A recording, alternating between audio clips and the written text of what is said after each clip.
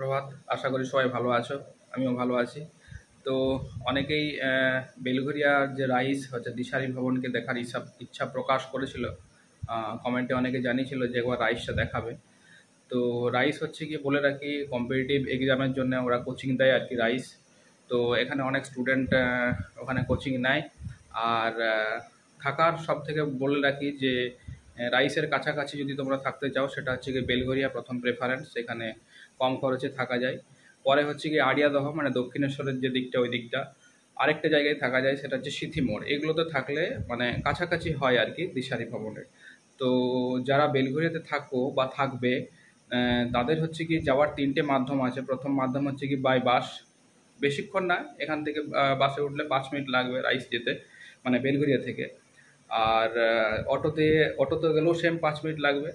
আর একটা যাওয়া যায়, সেটা হচ্ছে পায়ে হেঁটে। প্রথম প্রথম যারা কোচিং নিতে আসে, তো তারা প্রথমে বাসে কিংবা অটোতেই যায়, কিন্তু পরবর্তীকালে পয়সার যেহেতু একটা ব্যাপার থাকে, সেই জন্য সবাই হেঁটেই যায়। যেহেতু ডিস্টেন্স খুব একটা বেশি না, ওই মোটামুটি দেড় কিলোমিটারের মতো, তাই সবাই হেঁটেই যায় আর হেঁটেই আসে।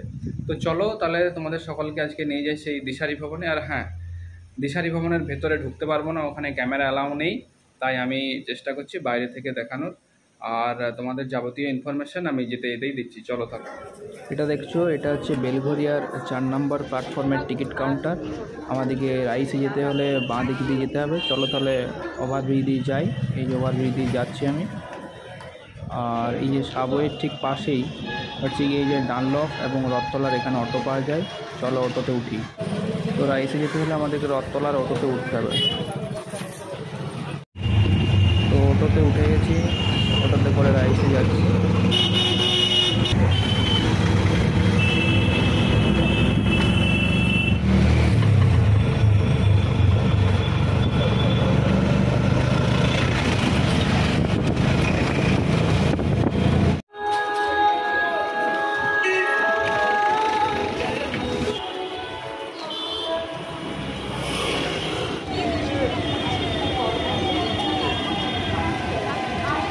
কামারহাটি পৌরসভা, এর উল্টো দিকটাই হচ্ছে গিয়ে বেলঘরিয়া, আর এই যে সোজা রাস্তাটা বেরিয়ে যাচ্ছে হলুদ বাসটা, ওটা হচ্ছে গিয়ে দক্ষিণেশ্বরের দিক। আর এই দিকে আছে তোমার দিশারি ভবন, এদিকে শ্যামবাজার মোড়। আর এই দিকে রাস্তাটা সোজা বেরিয়ে যাচ্ছে, এটা হচ্ছে সৌদপুরের দিকটা, ব্যারাকপুর, সৌদপুর। আর এইদিকে আমরা যাব দিশারি ভবন, চলো যাই তাহলে। তো আমরা রাইসের কাছাকাছি চলে এসেছি। এই বিল্ডিংগুলোর পাশেই হচ্ছে রাইস, এই যে লাল রঙের যে বিল্ডিংটা, লাল সাদা, এটা হচ্ছে রাইস। চলো একটু সামনে যাই।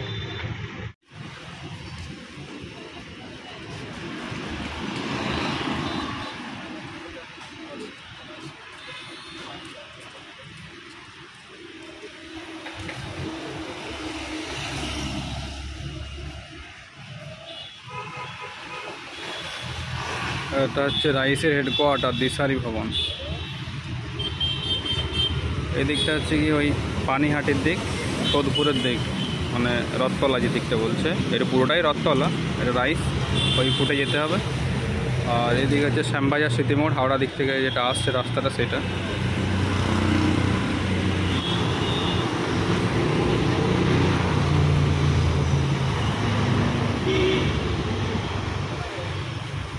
পুরো বিল্ডিংটাই রাইস কম্পিটিটিভ পড়ানো হয় এখানে, বিভিন্ন পরীক্ষার জন্য কোচিং দেওয়া হয়। তো তোমাদেরকে রাইস এডুকেশন যে দিশারি ভবন সেটা দেখাল, দেখালাম আর কি।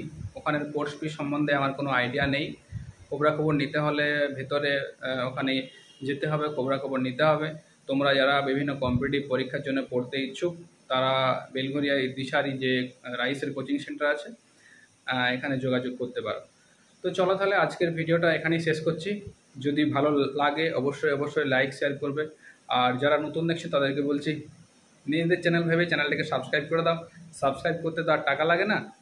তো যাই হলো, যারা সাবস্ক্রাইব করে আছেন, তাদেরকে অসংখ্য ধন্যবাদ। আর তোমাদের সাথে দেখা হচ্ছে তাহলে পরের ভিডিওতে